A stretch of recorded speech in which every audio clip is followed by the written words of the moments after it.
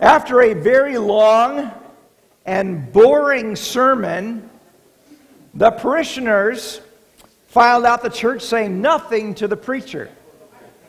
Well, towards the end of the line was a thoughtful person who always commented on the sermons.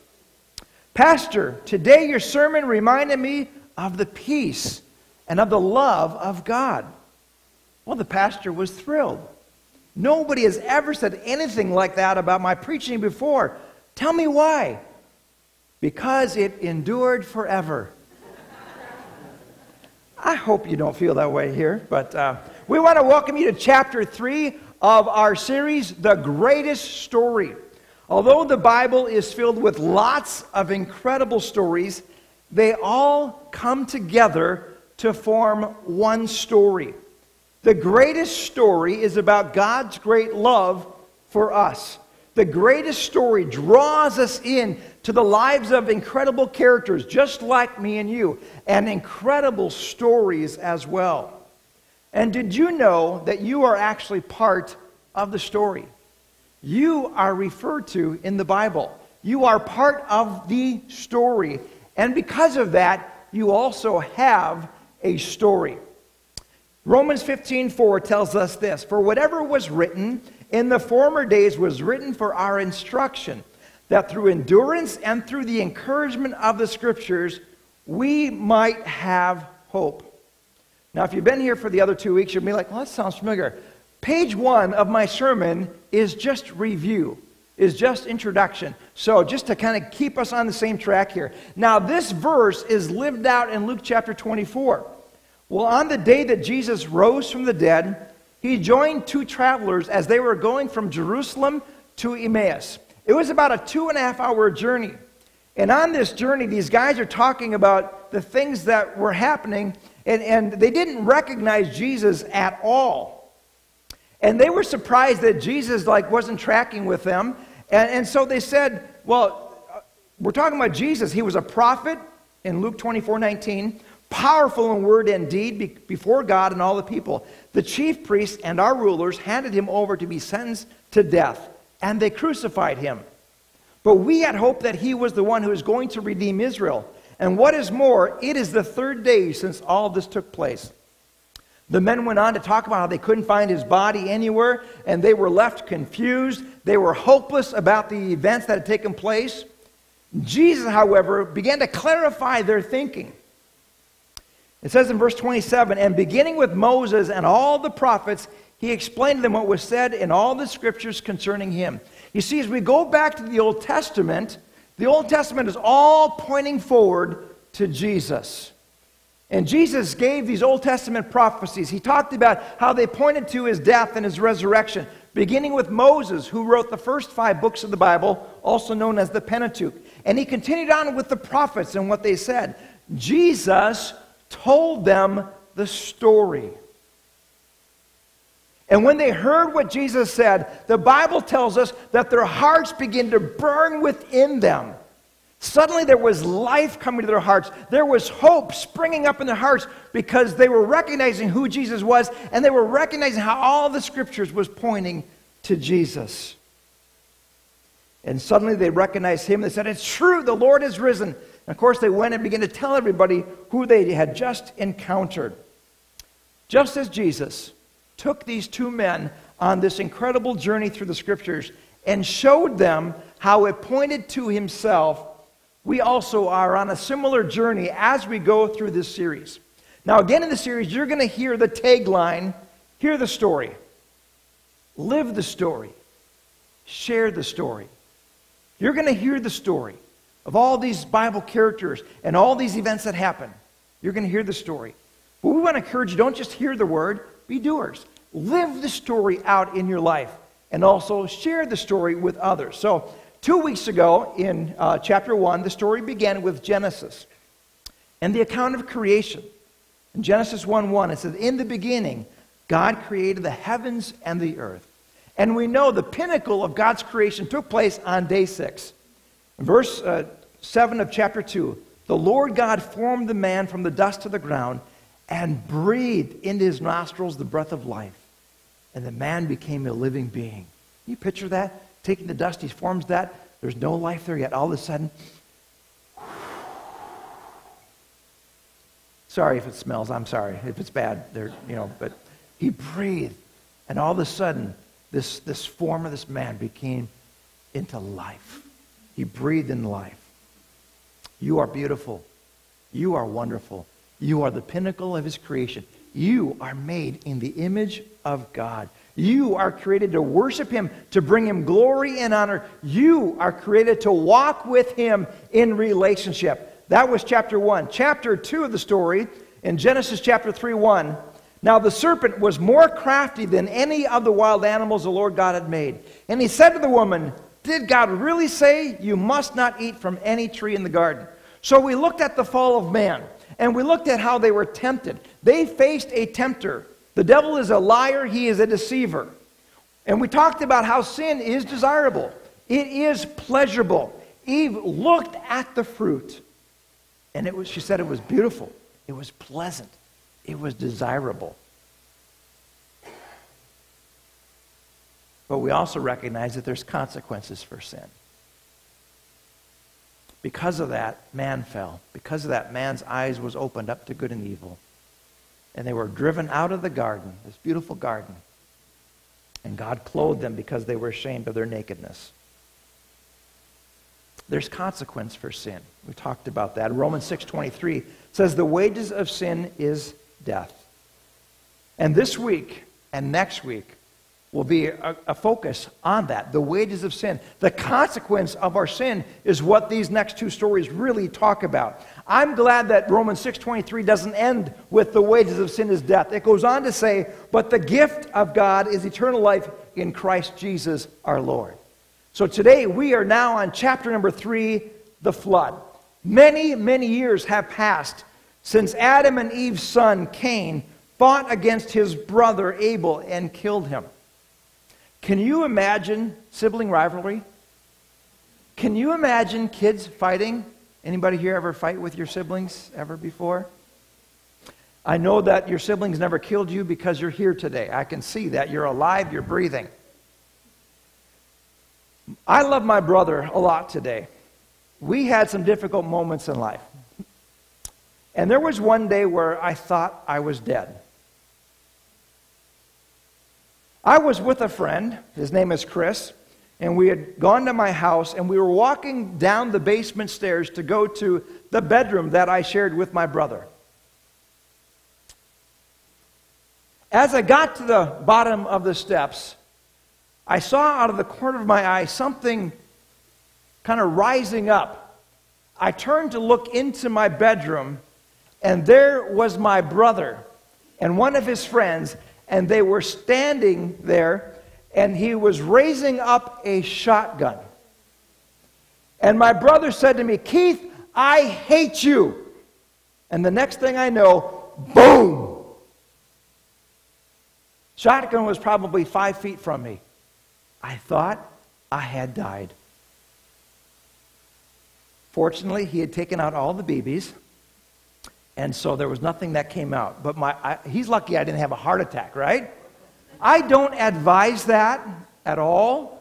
Maybe that's why there was days later where he would tease me and I would throw an axe or a skate or whatever was there just to get him to stop, right? It's amazing that we're both alive. I blame it on my brother's friend. He was always the instigator in the neighborhood and put him up to everything. So, but I thought I had died. Well, Adam and Eve, they saw the results of sin when one son took the life of another. Imagine how they felt at that moment. Now, there are 10 generations between Adam and Noah. There are about 1,656 years from the time that Adam was created to the point of the flood. And back then, they lived for 800 or 900 plus years. Can you imagine that? Some of you thinking, boy, I'm 60 years old. I wouldn't want to live with this for another 800 years, right? Their bodies were different, obviously. That's a long time to live. That's a lot of uh, presents, birthday presents to have to give the great, great, great, great, great, great, great, great grandkids. Think of all the generations that would get together for family picnics and reunions there, right? Now, let me ask you a question. Have you ever wondered if it really makes much difference how we live? Does it really matter? Good so often goes unrewarded, while it appears that evil persists without any punishment at all. No wonder so many times life just seems perplexing. Even though today's chapter in the story doesn't answer all of our questions, it shows that eventually God's justice becomes evident in human affairs. In Genesis 6, we read of how people were living so immorally that God said he would limit their years to be 120. And just two verses later, we read Genesis 6, verse 5. Let's read that. The Lord saw how great man's wickedness on earth had become, and that every inclination of the thoughts of his heart was only evil all the time. The Lord was grieved that he had made man on the earth, and his heart was filled with pain. So the Lord said, I will wipe mankind, whom I have created, from the face of the earth men and animals, the creatures that move along the ground, and the birds of the air. For I am grieved that I have made them. I'll have to admit to you, I've been a little cranky this week, and probably will be next week too. Just with the topic of the study, I'm like, oh my goodness. Can you imagine what God's thinking and going through and, and what happens to mankind and stuff? I'm like, oh, this is tough. Now, there are some important words in these verses that describe the emotions that God was feeling. Twice the word grieved is used. And one time the word pain is there. We don't often think of God in those ways. God was very sad when he looked at the earth and he saw the way that people thought, when he saw the way that people acted, that it was wicked, it was violent. Sometimes I find it hard to comprehend that God, who is love and loves us so much, would be filled with such pain and would grieve with the behavior that mankind had, that he would say, I will wipe mankind from the face of the earth. Do you remember that cartoon character, Popeye? Some of you are like, nope. The only thing I didn't like about Popeye, Popeye is he liked spinach. I could never, what? He liked, I don't get, I, I like spinach now, but not then, on myself. But Popeye had a saying that he would say quite often. He would say, that's all I can stand, I can't stand no more. Remember that? Famous line for Popeye. It seems that someone or something had Popeye, uh, pushed Popeye too far, and he couldn't take it any longer. There's a billboard I've seen occasionally, and it says, Don't make me come down there. Signed God. Right? Things aren't going my way. I don't want to come down there. Now, remember back when you were a child and you heard your mom or your dad would, would say to you from across the house, telling you that you were in for it if they had to come down there or come to your room or wherever it was, right? If I have to come over there, you're. if I have to pull the car over, you're in trouble, right? in our scripture this morning, God had had enough. Like Popeye. He had all he could stand, and he could stand no more. No, wait a minute, Pastor. I thought God was love. All he could do is love. Well, King David, who wrote many of the Psalms, describes him this way in Psalm 103, verse 8. He says, The Lord is compassionate and merciful, slow to get angry, and filled with unfailing love. While he is not just filled with love, he is love, and he is slow to anger. But there is a point where perhaps our sin ends up pushing God so far I can't imagine what he was thinking. And the pain that he felt and the grief that sin had caused. You know, sometimes I think personally, I know I'm this way, I can think, oh, my sin, oh man, it's not that big a deal. God loves, he'll forgive whatever. And I lose sight of how my sin truly affects God, who is holy, who is just, who is fair, who is righteous. And I'm also thankful for a small word in the Bible. It's the word but. But. I'm so thankful that that word can be found in the story. In verse number 8, it says this But Noah found favor in the eyes of the Lord. There's only one man. Imagine that. Out of all the people, only one man found favor in God's eyes. Noah was a righteous man. He obeyed God. Noah walked in favor with God. And one day, God informed Noah that he was going to destroy the earth with a flood. And God told him to build an ark, a large boat out of cypress wood, kind of something like this ark, if we can go to, to that. Is that working? There.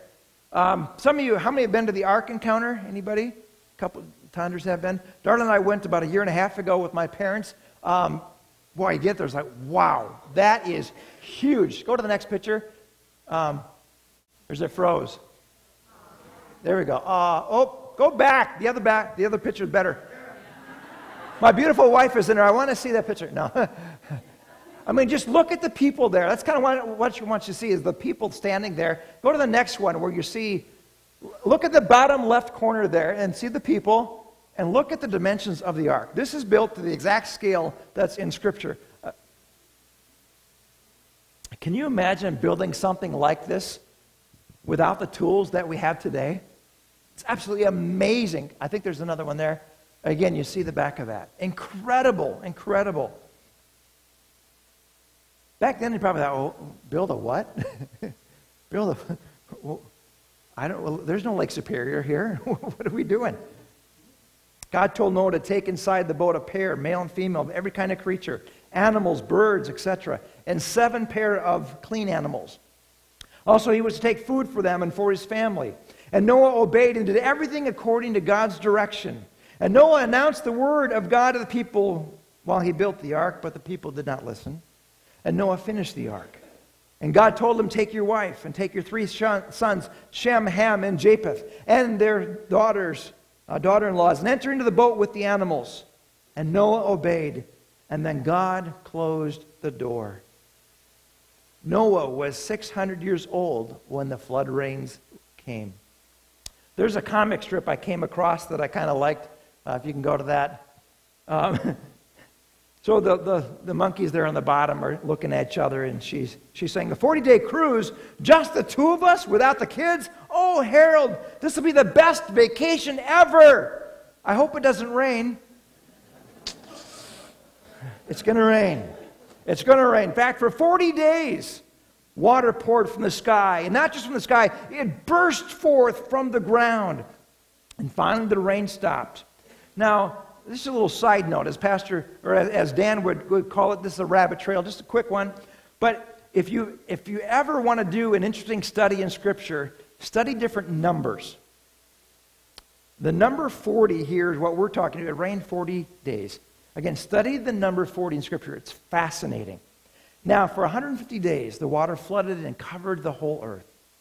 Little by little, the waters receded and the peaks of the mountains began to appear. And thinking the earth was dry, Noah opened the window and sent out a raven who flew back and forth. And then he sent a dove. But it didn't find a place to land either, and it returned to the ark. After seven days, Noah let the dove out again, and it returned carrying an olive leaf in its beak. After seven more days, Noah again let the dove out of the window, and this time the dove didn't return. The earth was dry enough. And God told Noah that they could leave the ark. And Noah and his family and all the animals began to leave the ark. When I read the Bible, I always kind of think, I wonder, I, I kind of read, I don't read more into it, but I imagine more than what it's saying. And so I'm picturing the, uh, the lions looking at some other little creature, rabbits or whatever, thinking, okay, you got a two hour head start. On the boat, we're fine, but when we get off the boat, I'm ready for some good rabbit here. Your minds ever think that kind of stuff when you're reading Scripture? well, they had been inside the boat for 370 days. That's a long time to be with your family, isn't it? what was the first thing that Noah did? The Bible says he and his family built an altar to thank God for giving them the protection. And then God put this beautiful rainbow in the sky as a sign that there would never be another flood to destroy the earth. A rainbow like that one.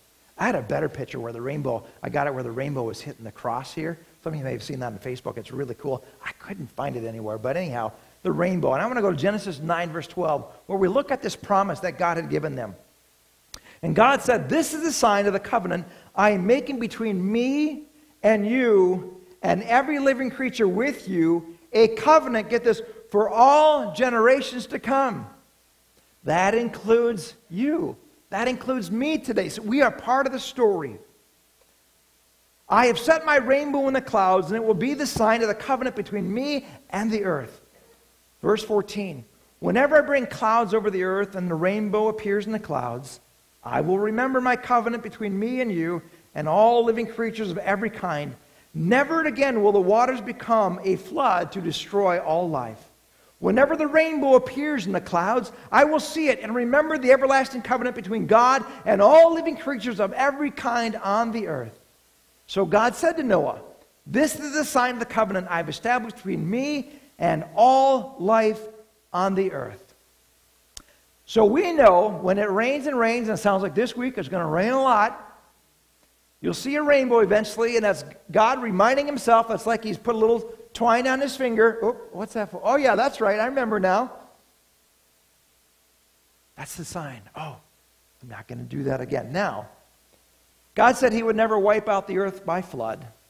At some point down the road, we know that the earth will be wiped out by fire. There'll be a new heaven and a new earth. But that's near the end of the story. We don't want to jump ahead to all that yet. So it'll all be fine, but We'll get there later. Now, interesting, I want to jump ahead to Matthew and Luke. There's two gospels there where Jesus himself actually refers back to this story in Genesis chapter 6. So it's important enough that Jesus is talking about it. And he uses this story of Noah to point forward to a coming day. In Matthew chapter 24, verse 36, Jesus is saying this, and he says, No one knows about the day or hour, not even the angels in heaven, nor the Son, but only the Father. That's important. Remember that. Some people say, well, Jesus is going to come in 1988, 89, or he's going to come in 2019, or whatever. Nobody knows. There are signs we can read, but nobody knows. And Jesus himself says, I don't even know. The angels don't even know. Only the Father knows the time of, of the return, of the rapture. Now, verse 37 As it was in the days of Noah, so it will be at the coming of the Son of Man. So get this. He's correlating the days of Noah and what happened there to the future coming of Jesus. For in the days before the flood, people were eating and drinking, marrying and giving in marriage up to the day Noah entered the ark. And they knew nothing about what would happen until the flood came and took them all away. And that is how it will be at the coming of the Son of Man. Two men will be in the field, one will be taken, the other left. Two men will be grinding with a handmill. One will be taking the other left. Again, when I read that, I'm always like, tell them!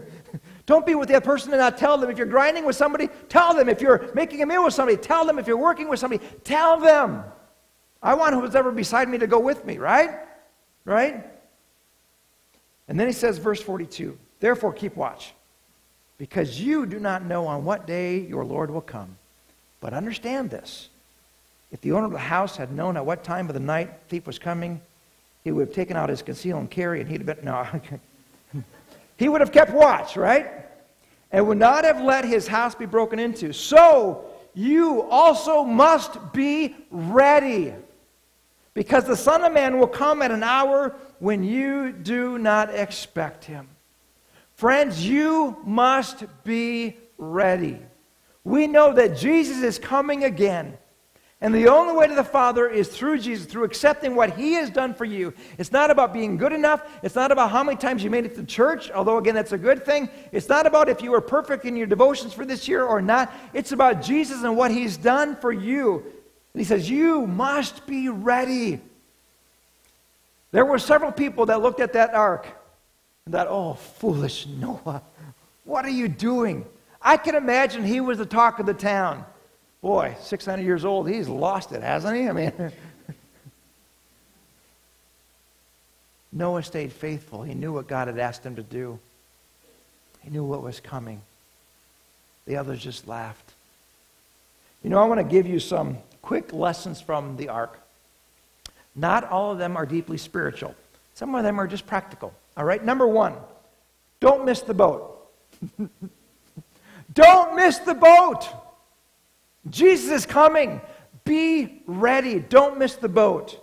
Number two, remember that we are all in the same boat. For God so loved the world. There is no one outside the parameter of God's love. Not a single person. Doesn't matter from what country, what nation, what tribe. God wants them all in the boat. Number three, plan ahead. It wasn't raining when Noah built the ark. Plan ahead. Number four, I like this one. Stay fit. When you're really old, God may ask you to do something really big. all right? When you're 100 years old, He may say, All right, it's time. You're going to do this. What? You know, I can't. All right, I'll, you know. Stay fit. Stay ready for God to use you. Number five, don't listen to the critics. Just get on with the job that needs to be done. Number six, build your future on high ground. Number seven, for safety's sake, travel in pairs. See, just practical, right? Number eight, speed isn't always an advantage. The snails were on board with the cheetahs, right? You may not be the fastest. Stay faithful. Stay faithful. Number nine, remember the ark was built by amateurs, the Titanic by professionals. All right? Friends, you don't have to be perfect for God to use you. You don't have to wait for the day where all the stars align and now, oh, oh, I can do something for God. God always uses people that are flawed and imperfect and don't have all the gifts and abilities and whatever. In fact, that's often who God chooses, as we'll see in several stories to come. God never picks the person that's got everything together. He would never be able to use anybody. Next week, we'll even see Noah and something that he did that wasn't that great. Number 10, no matter the storm, when you are with God, there's always a rainbow waiting. Some of you are in a storm right now, and you just need to know, man, God, are you with me? Are you here? You remember me? There's a rainbow. There's a rainbow. Why don't you think about this? What aspect of Noah's example, maybe his obedience, uh, maybe his faith, his courage, his endurance, what example of Noah is most meaningful to you in a situation that right now you are facing? What one characteristic of this man can you take and apply to your life that will bring you encouragement? In today's portion of the story, we learn once again that the heart of man is wicked. It's wicked. And we learn that our sin grieves God. It brought him great pain back then. It brings him pain now. I don't want to bring pain to God's heart. I know I sin. I'm so thankful that his mercies are new every day. But with God's help and the Holy Spirit, I want to follow him the best I can. And I want to make the right choices according to Scripture as best I can. With his help, obviously. But sometimes I think in our sight today that we take our sin too lightly. That we don't always recognize the consequences that there are for sin. Does God forgive? Absolutely. But oftentimes there's still consequences that result because of our actions. Um, sometimes God reverses those things. Sometimes we end up living with some of those decisions that we've made. Um, but sometimes I think we just take it too lightly. I love 1 John 1 9. Again, it says, If we confess our sins, He's faithful and He's just and will forgive us our sins and purify us from all unrighteousness. Friends, we learn today the heart of man is wicked. It is. There's an old song that says, Prone to wander, Lord, I feel it. Prone to leave the God I love. Our heart, that's what happens. And so this is a daily walk with God, sitting before Him every day saying, God, cleanse me, wash me, give me strength to live for you today. I'm not defeated. I can walk in victory. And when I fall, I'm not going to stay on the ground. God, help me back up. I'm going to keep going for you. I'm not going to let sin have its final victory in my life. I'm going to be victorious because you were. I'd like the worship team to come if you would, and I'd like you to just close your eyes and bow your heads this morning if you would. Hear the story. Hear the story. What's the story of Noah and the flood saying to you today? Maybe on the side of just reminding us of the consequence of sin, of the wickedness of man's heart. We all know we don't have to be convinced of that. Maybe it's the story of Noah and his faithfulness, his obedience, his endurance, willing to be laughed at to obey the will of God, whatever. What's one thing the Holy Spirit wants you to take from this story today, this part of the story, this chapter, and apply to your life? Hear the story. With your head bowed and your eyes closed, I recognize there may be some here today that maybe you're not ready for what Jesus talked about with the story of Noah about his coming. Jesus has promised in Scripture, He is coming again. Nobody knows the day or the hour, but we can read the signs. And to me, the signs say it's very soon. I'm not going to try to scare you into heaven in any way. God has given us all a free will to decide for Him or against Him.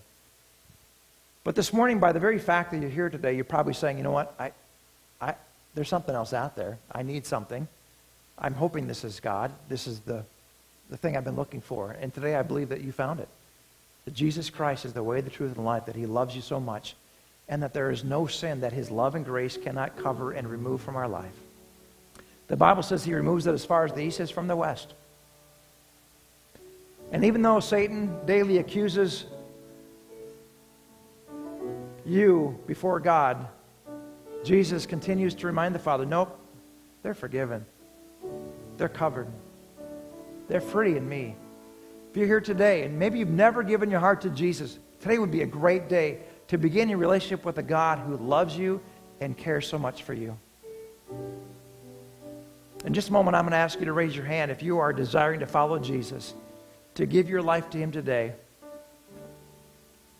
to invite Him into your heart to forgive you of all your sins. With everyone prayerfully thinking about their own life, is there anyone here today that by the raising of your hand, to be saying, Pastor Keith, man, today's the day I want to choose Jesus. I want to surrender my life to Him. I'm tired of the way that I've been living. I can't do it on my own. And I want to be ready for that day that Jesus comes again. I want to be in the boat. Anyone here this morning at all? Yes, thank you. I see that hand in the back on my right. Anyone else? Yes, thank you. Anyone else this morning? Again, I don't want to scare you into this at all. This is about God loving you so much, having a plan for your life, and His forgiveness coming into your life and making you brand new in Christ. This is just the start. Anyone else? Yes, thank you. I see that hand in the back center. Anyone else? Hallelujah. Hallelujah. With every eye still bowed, or closed and head bowed, perhaps there's some of you here today that say, Pastor Keith, there, there's, there's a sin that just keeps messing me up. I need victory in my life today. I need God to help me overcome this thing. I can't do it on my own. I've been determined in the past, but I need to just surrender before Him and invite Him to help me overcome this thing. If that's you, would you raise up your hand right now? There's something you just say, I just need to overcome. I need victory in this right now. Yes, thank you. I want to invite everyone to stand together, if you would, with me. And I'm going to pray a prayer. And I'm going to invite all of us to pray this prayer together. Again, this prayer is not a magic formula. You can say the words and not mean in your heart. It's not going to do any good. If you're sincere with God and you mean this, God's about to forgive you of your sin and transform your heart. Let's pray this together. Dear Heavenly Father, thank you for loving me and sending your Son, Jesus Christ, to die on the cross for me. I confess that I have sinned. I now invite you to come into my heart. Forgive me my sins. And help me live a life that's pleasing to you. In Jesus' name I pray. Amen. Amen. As we sing this next song, I'm going to ask Pastor Sam, he's going to come down here. If you prayed that prayer, he wants to just meet with you real quickly to give you a little booklet that's going to help you grow in your faith. As we sing this song, let's make this our prayer desire as we follow God in victory.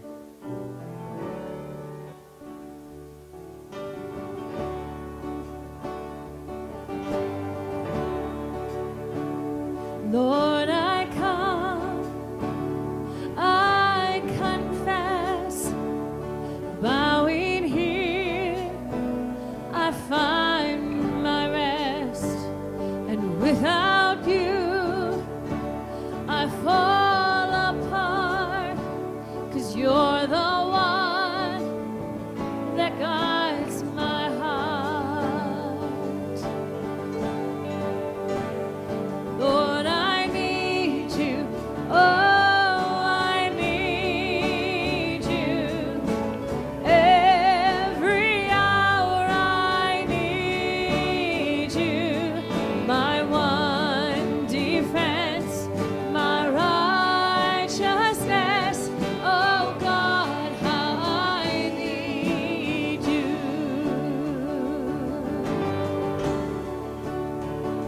Sin runs deep.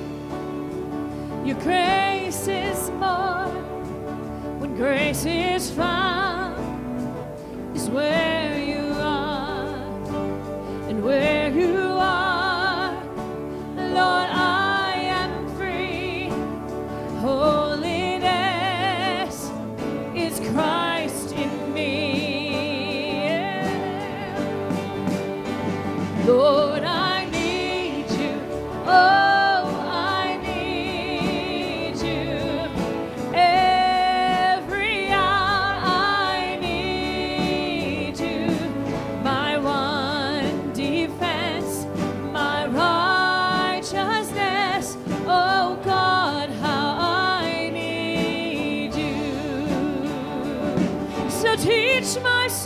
to rise to you when temptation comes my way. And when I cannot stand, I'll fall on you. Jesus, you're my hope and stay. Lord,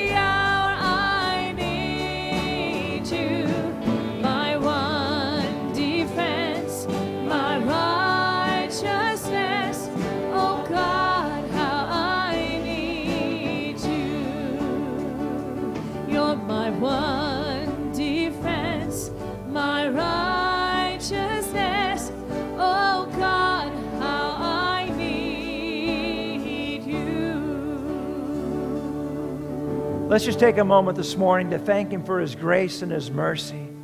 Let's thank Him for His love. Hallelujah, Jesus. Thank you, Jesus. Lord, we praise you. We exalt your name, Lord. Hallelujah. Lord, I pray this morning that you would help us to walk in victory. And God, I pray that you would help us to be able to go from this place to share the good news with those around us. Lord, your word says you're not willing that any should perish, but that all should come to everlasting life. And Lord, part of your plan is for us to live the story and to tell the story. Lord, I ask that you would give us opportunities this week with friends and families, with those we come in contact with, to be able to share the wonderful good news of God's love. Lord, bless each one as we go from this place, but not from your presence. In Jesus' name, amen. Amen. Lord, bless you. Have a great week. As always, the altars are always open if you would like to just come, come and wait in God's presence.